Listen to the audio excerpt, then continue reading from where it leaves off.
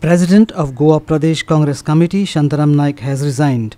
Shantaram says he took the decision to resign after listening to the speech of Congress President Rahul Gandhi at the plenary session of the All India Congress Committee. Shantaram has just returned from New Delhi after attending the plenary session of the Congress Party. Am Aadhar's Congress President Rahul Gandhi had addressed the session. C plenary सेशनाक Rahul Gandhian जे भाशण केलें की ताणी सांगलें की आतां young जनरेशनान मुखार येवपाक जाय.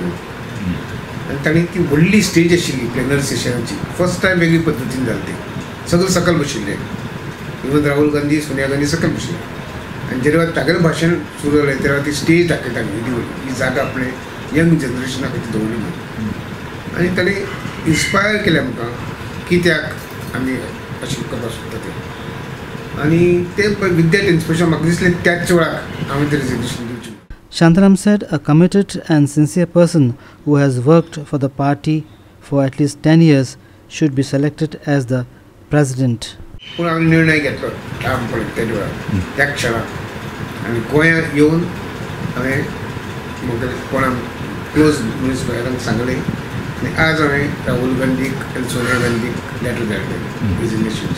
Our reporter Ramesh Naik Raut from Margao.